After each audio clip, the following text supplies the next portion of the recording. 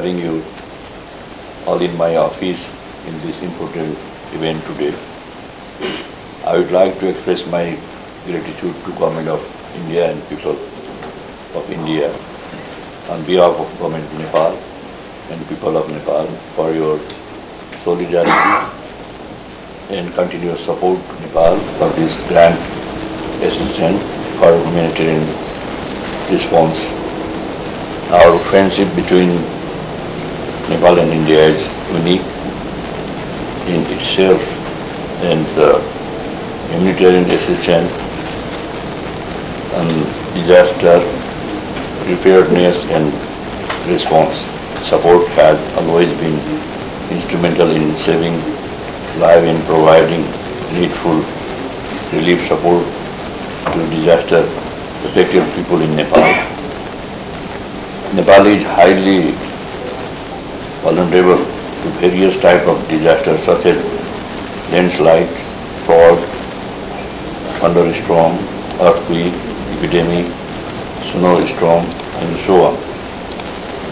India has always been there for Nepal in its hard times. Any key support like capacity building of government of government officials and security forces, sharing of key information on hydrometeorology and many other hardware and software assistance for disaster risk reduction and management is remar- remarkable to reduce the existing risks and timely response for saving lives and reduce the loss of property. The continual support of Government of India to Nepal very praiseworthy with demonstrate the good relationship between the two nations, fostering people-to-people relation. I would like to express my gratitude to the Embassy of India in Kathmandu for their coordinating and facilitating role in this humanitarian assistance cooperation and everlasting friendship between Nepal and India. करते हैं। ये भी हम कई सालों से करते रहे हैं। जब मैं नेपाल की सम्माननीय राष्ट्रपति श्री श्रीमती भंडारी जी से मिला था तो उन्होंने कहा था, भारत और नेपाल दुख सुख के साथी हैं।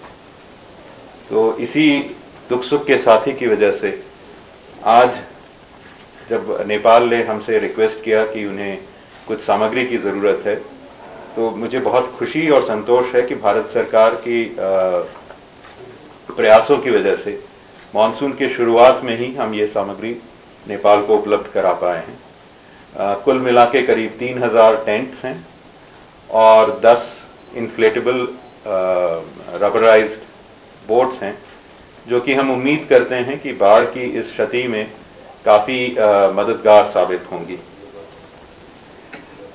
भारत ने हमेशा नेपाल के एक सहयोगी और पार्टनर के रूप में अपने को देखा है। 2015 में भी जब भूचाल की वजह से क्षति हुई थी तो भारत ने सामग्री उपलब्ध कराई थी। करीब एक बिलियन डॉलर का असिस्टेंस दिया गया था। उसमें भी काफ़ी प्रोग्रेस हुई है। पचास हज़ार घर जो बना कर देने थे, वह पिछले साल नवंबर में दिए गए हैं। उसके साथ ही बाकी सेक्टर्स पे भी काम चल रहा है। ह्यूमैनिटेरियन असिस्टेंस डिजास्टर रिलीफ प्राकृतिक आपदा से सामना करना यह हमारी भारत और नेपाल की डेवलपमेंटल पार्टनरशिप का एक इंपॉर्टेंट कंपोनेंट है। आ, हम दोनों देश एक डेवलपिंग देश हैं तो इस तरह की प्राकृतिक आपदाओं से मिल के उनसे आ, उनका सामना करना और उनकी आ, उनके लिए करेक्टिव एक्शन लेना, ये बहुत ज़रूरी है। भारत हमेशा और सदैव, अभी भी नहीं फ्यूचर में भी नेपाल के साथ मिलकर इन प्राकृतिक आपदाओं का सामना करेगा। इनके लिए जो भी कैपेसिटी बिल्डिंग कर सकते हैं, वह भी हम कोशिश करेंगे।